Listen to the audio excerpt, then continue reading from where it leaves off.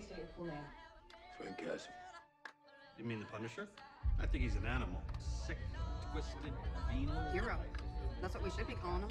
If you ask me, people like Frank Castle ought to be applauded for putting all the thieves and muggers in the morgue where they belong. If anyone can kill anyone in this town, where does the insanity end? This Mercedes,